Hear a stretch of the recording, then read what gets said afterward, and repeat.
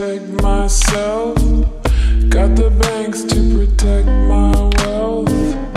Got the laws that are keeping me safe.